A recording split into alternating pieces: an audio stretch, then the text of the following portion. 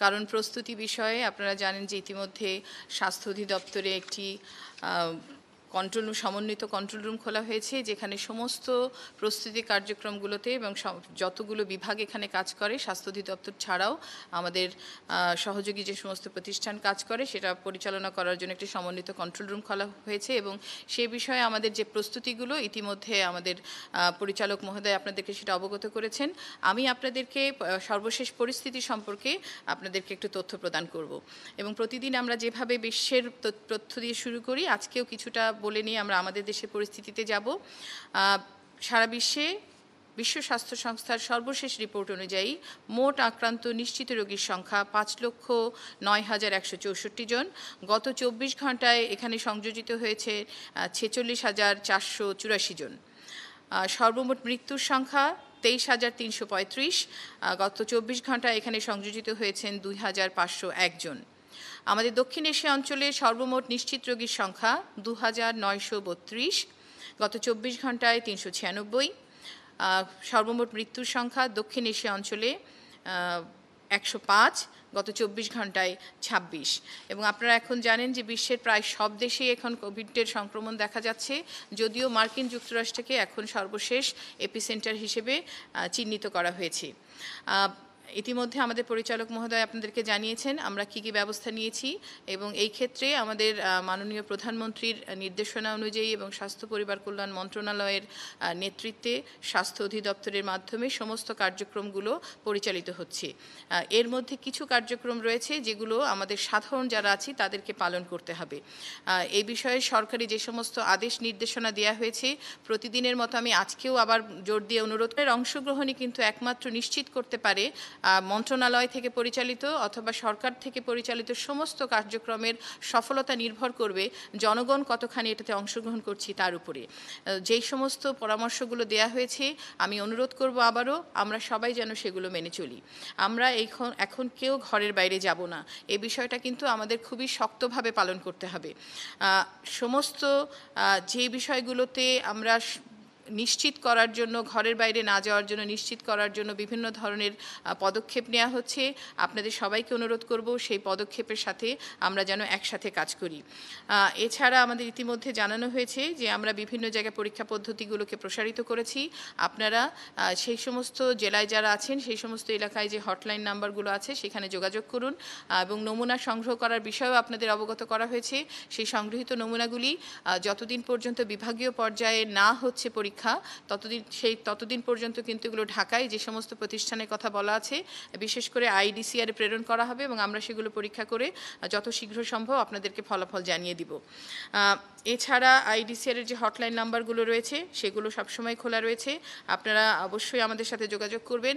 IDCR এর যেই email address রয়েছে, সেই ইমেল অ্যাড্রেসে যারা আমাদের বিভিন্ন রোগ, অন্যান্য রোগ সম্পর্কে অনেক কথা বলছেন, আমরা সেগুলো উত্তর দেওয়ার চেষ্টা করছি। তবে যেহেতু আমাদের সাথে অনেকে যোগাযোগ করছেন, সেই ক্ষেত্রে আমাদের অনেক ক্ষেত্রে হয়তো বিলম্ব হচ্ছে। আপনাদেরকে আমি অনুরোধ করব, ধৈর্য ধরে আমাদেরকে সহযোগিতা করুন। এছাড়া কোভিড নিয়ন্ত্রণের জন্য, প্রতিরোধের জন্য আমাদের প্রত্যেকের জীবনে আচরণে যেই অভ্যাসগুলো করা প্রয়োজন, সেগুলো আমি আপনাদেরকে আবারও মনে করিয়ে দিব। ইতিমধ্যে আক্রান্ত ব্যক্তির সংস্পর্শ এড়িয়ে চলবেন। কাশি শিষ্টাচার মেনে চলুন। হাঁচি কাশির সময় টিস্যু পেপার বা কাপড় বা রুমাল ব্যবহার করুন। যদি না থাকে, তাহলে বাহুতে নাক মুখ ঢেকে নিয়ে হাঁচি কাশি দিন। পরবর্তীতে ব্যবহৃত টিস্যুটি একটি বিনে ফেলে দিন অথবা ব্যবহৃত কাপড় বা রুমালটি ভালো করে সাবান দিয়ে ধুয়ে ফেলুন। এছাড়া নিয়মিত সবাই সাবান ও পানি দিয়ে দুই হাত ধোবেন। অপরিষ্কার হাতে নাক, মুখ, চোখ স্পর্শ করবেন না। অবশ্যই বাড়ির ভেতর থাকুন, কেউ বাড়ির বাইরে যাবেন না। কারও হাতে হাত মেলানো, কোলাকুলি এগুলো থেকে অবশ্যই বিরত থাকতে হবে। ইতিমধ্যে বলা হয়েছে যাদের বয়স ষাটোর্ধ অথবা যাদের মধ্যে কোনো দীর্ঘমেয়াদী রোগ রয়েছে, যেমন ডায়াবেটিস উচ্চ রক্তচাপ, হৃদরোগ, হাঁপানি কিডনির সমস্যা, ক্যান্সার ইত্যাদি। তারা একেবারেই ঘরের বাইরে যাবেন না এবং বিশেষ করে তারা একটি ঘরের মধ্যে থাকারই চেষ্টা করবেন। আমাদের হটলাইন নাম্বারগুলোতে আপনারা যোগাযোগ করুন। ইতিমধ্যে গত চব্বিশ ঘন্টায় আমরা আইডিসিআরের হটলাইনে তিন হাজার চারশো পঞ্চাশটি কল পেয়েছি এবং সব, এগুলো সবগুলোই কোভিড উনিশ সংক্রান্ত কল। এ পর্যন্ত আমরা যে নমুনা সংগ্রহ করে পরীক্ষা করেছি আইডিসিআরে এক হাজার আটষট্টি। গত চব্বিশ ঘন্টায় ঘন্টায় বিয়াল্লিশ জনের নমুনা পরীক্ষা করা হয়েছে। এছাড়া আপনারা ইতিমধ্যে জেনেছেন যে Bangladesh Institute of Tropical and Infectious Disease BITID Chittagong, সেখানেও আমরা পরীক্ষা শুরু করেছি। গত চব্বিশ ঘন্টায় সেখানে পাঁচটি নমুনা পরীক্ষা করে সর্বমোট আটটি নমুনা পরীক্ষা করা হয়েছে এবং এই সকল নমুনা পরীক্ষার ফলাফলের ভিত্তিতে গত চব্বিশ ঘন্টায় আমরা নতুন কোনো সংক্রমিত সংক্রমণ শনাক্ত করিনি। তার মানে আমাদের সর্বমোট নিশ্চিত রোগীর সংখ্যা আটচল্লিশ। আমরা বরঞ্চ আপনাদেরকে একটা সুখবর বলতে চাই। গত চব্বিশ ঘন্টায় আরও চারজন যাদের মধ্যে কোভিডের সংক্রমণ ছিল, তাদের মধ্যে এখন কোভিড সংক্রমণ নেই। তার মানে হচ্ছে গত এই পর্যন্ত পনেরো জন, যারা আক্রান্ত ছিলেন আটচল্লিশ জন, তার মধ্যে পনেরো জন সুস্থ হয়ে গেছেন, তাদের মধ্যে এখন কোভিডের, কোভিড উনিশের কোনো সংক্রমণ নেই। এছাড়া আমরা যাদের কোভিড উনিশের সংক্রমণ নির্মূল হয়েছে তাদের একটা বিশ্লেষণ করে দেখেছি। তারা মোটামুটিভাবে সর্বোচ্চ ষোলো দিন পর্যন্ত তারা হাসপাতালে ছিলেন, যখন থেকে তাদের মধ্যে লক্ষণ উপসর্গ হয়েছে সেই। আপনারা অনেক সময় আমাদের কাছে জানতে চান যে তাদেরকে কি চিকিৎসা দেওয়া হয়েছিল। বেশিরভাগ ক্ষেত্রেই তাদেরকে লক্ষণ উপসর্গ ভিত্তিক চিকিৎসা দেওয়া হয়েছে। এদের মধ্যে একজনের কিডনির সমস্যা ছিল, তাকে সেখানে ডায়ালাইসিসের ব্যবস্থা করা হয়েছিল এবং তিনি এখন কোভিড সংক্রমণ মুক্ত তাকে আমরা এখান থেকে ছেড়ে তিনি তার যেইভাবে তিনি ওনার দৈনন্দিন চিকিৎসা গ্রহণ করতেন আগে, তিনি সেইভাবে সেই চিকিৎসা গ্রহণ করতে পারবেন।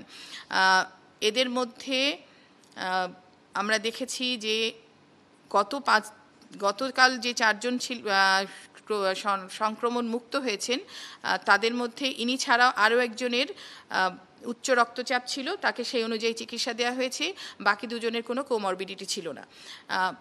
আমার দিক থেকে এখানে এই তথ্য আরেকটি তথ্য, এখন এই মুহূর্তে হাসপাতালে আইসোলেশনে আছেন সাতচল্লিশ জন, সর্বমোট দুশো জন আইসোলেশনে ছিলেন, যাদের কোভিড পরীক্ষা করে শনাক্ত করে অথবা তাদের মধ্যে কোভিডের উপস্থিতি ছিল এরকম পনেরো জন এবং উপস্থিতি ছিল না, বাকিদেরকে হাসপাতাল থেকে তাদেরকে ছেড়ে দেওয়া হয়েছে। আপনাদের সবাইকে ধন্যবাদ। আপনাদের যে সমস্ত প্রশ্নের উত্তর রয়েছে, আমি আমার সাথে যিনি আছেন পরিচালক এমআইএস, তাকে অনুরোধ করব সেই প্রশ্নের উত্তরগুলো দেওয়ার জন্য। আপনাদেরকে ধন্যবাদ।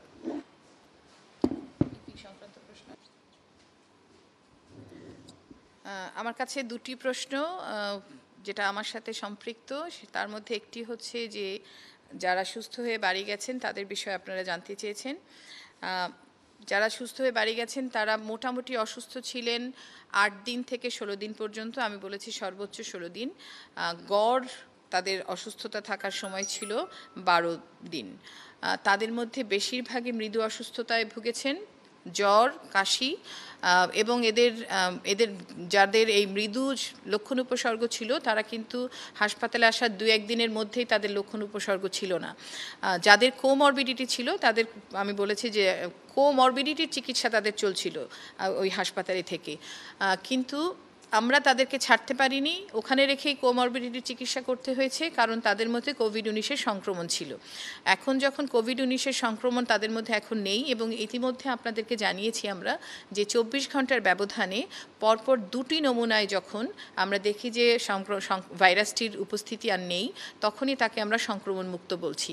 তো এখন তারা তাদের যেই কোমরবিডিটির চিকিৎসা তারা যেভাবে নিতেন তারা সেভাবেই নেবেন। এই পনেরো জনের মধ্যে নয়জন পুরুষ ছয়জন মহিলা। আপনারা জানতে চেয়েছেন তাদের বয়স। তাদের বয়স সীমা সর্বনিম্ন দু বছর, সর্বোচ্চ চুয়ান্ন বছর। গড় বয়স উনত্রিশ বছর বয়স তারা ছিলেন। আরেকটি বিষয় লোকাল ট্রান্সমিশন হয়েছে, সেই কথাটা আপনাদেরকে বলেছিলাম। মানে বিদেশ থেকে এসছে, আসার পরে তাদের মাধ্যমে তাদের কন্ট্যাক্টের মধ্যে হয়েছে। কমিউনিটি ট্রান্সমিশন বা সামাজিকভাবে কোনো রকমের সংক্রমণ হয়েছে কি না সে বিষয়ে আমরা আপনাদের আগেই অবগত করেছি যে সামাজিকভাবে কিছুটা সংক্রমণ আছে কিন্তু সেটা খুবই লোকালাইজড একটা দুটো জায়গায়। এক জায়গাতে আমরা সেটা যখনই আমরা দেখেছি যে তার আমরা উৎস খুঁজে পাইনি, আমরা তখনই কিন্তু সেই জায়গাটাকে কন্টেইন করে সেই জায়গাটাকে সবার আগে সামাজিকভাবে বিচ্ছিন্ন করা হয়েছিল এবং সেইখানে আমরা আমাদের সমস্ত কার্যক্রম নজরদারি প্রক্রিয়া জোরদার করে সেটা এখনও চলছে। এছাড়া এছাড়া আরেকটি জায়গায় আমরা ক্লাস্টার আকারে রোগী পেয়েছি এবং সেখানেও ক্লাস্টারের বাইরে কোনো রোগী নেই। সেই জন্য এটাকে আমরা সামাজিক সংক্রমণ হয়েছে তা বলব না, তবে সীমিত আকারে এটা আমরা আমাদের পর্যবেক্ষণে এসেছে এবং আমরা সেটাকে গভীরভাবে পর্যবেক্ষণ করছি। আপনারা বেশ কিছু মানুষ সম্পর্কে জানতে চেয়েছেন, আমরা সবসময়ই বলেছি কিন্তু যে কার মধ্যে সংক্রমণ রয়েছে কে কোয়ারেন্টিনে আছেন সেই বিষয়গুলো আমরা কখনোই যাতে তাদেরকে আইডেন্টিফাই করা যায় সেই সমস্ত তথ্যগুলো আমরা সবসময়ই বলে এসেছি নিরুৎসাহিত করেছি। আমরা যেমন বলিনি আমরা আপনাদেরকে অনুরোধ করেছি তাদেরকে যেন চেনা না যায় এরকমভাবে যেন আমরা তথ্য প্রচার করি। অনেক ক্ষেত্রে এখানে তারা সামাজিকভাবে বিচ্ছিন্ন হয়ে পড়তে পারেন ব্যক্তিগতভাবে। আমরা সামাজিক বিচ্ছিন্নকরণের কথা বলছি সমাজ হিসেবে কিন্তু কোনো ব্যক্তি যেন এটাতে কোনোভাবে সামাজিকভাবে কোনো রকমের আহ, হেয় প্রতিপন্ন না হন, সেই দিকটা আপনাদের কিন্তু আমরা সবসময় অনুরোধ করেছি।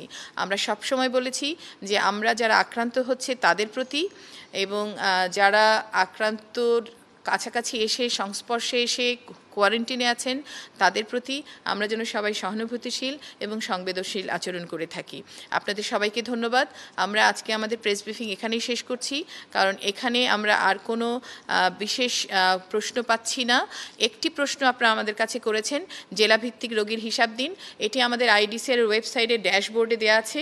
এটা আপনারা যখনই ঢুকবেন আইডিসির ওয়েবসাইটে গেলে পেয়ে যাবেন কোন জেলায় কতজন রোগী রয়েছে। এটা যখনই রোগী একজন আমরা সংযোজিত হয়, সেই তথ্যটি সাথে সাথে আপডেট করা হয়ে যায়। আপনারা আইডিসির ওয়েবসাইট গেলে বেসিক কিছু তথ্য কিন্তু পেয়ে যাবেন। আপনাদের সবাইকে ধন্যবাদ। আমার এবং আমাদের ডক্টর হাবিবুর রহমানের পক্ষ থেকে, আমরা স্বাস্থ্য পরিবার কল্যাণের মন- মন্ত্রণালয়ের পক্ষ থেকে আমি শেষ করার আগে আরেকটি বিষয়, আমরা গতকাল কাউকে কাউকে কৃতজ্ঞতা জ্ঞাপন করেছিলাম। আমি বলেছিলাম যে, যারা আরও আমাদেরকে সহযোগিতা করেছেন, তাদের তথ্যগুলো যদি আমাদের স্বাস্থ্য অধিদপ্তরের সমন্বিত কন্ট্রোল রুমে চলে আসে, আমরা আপনাদেরকে কৃতজ্ঞতা প্রকাশ করি সবসময় মনে মনে, কিন্তু আমরা প্রকাশিতভাবেই প্রকাশ করতে চাই। এর মধ্যে গতকাল আমরা জানতে পেরেছি যে আমাদের মৎস্য এবং পশু মন্ত্রণালয় সেখান থেকে আমাদের পার্সোনাল প্রোটেক্টিভ ইকুইপমেন্ট দেওয়া হয়েছিল। আমাদেরকে এ টু আই এই সমগ্র এই যে ভিডিও কনফারেন্সের মাধ্যমে যে কার্যক্রম পরিচালনা করছি সেখানে এবং আমাদের হটলাইনের মধ্যেও তারা আমাদেরকে এটাকে উন্নত করার ক্ষেত্রে আমাদের সব সবসময় সমস্যা দূরীকরণের ক্ষেত্রে আমাদের সহযোগিতা করছেন। এছাড়া আমরা যে সমস্ত কন্ট্রোল রুমগুলো খুলেছি স্বাস্থ্য অধিদপ্তরে, সেটা ইতিমধ্যে জানানো হয়েছে, স্বাস্থ্য মন্ত্রণালয় রয়েছে, স্বাস্থ্য অধিদপ্তরে রয়েছে, জেলা পর্যায়ে রয়েছে এবং উপজেলা পর্যায়েও রয়েছে।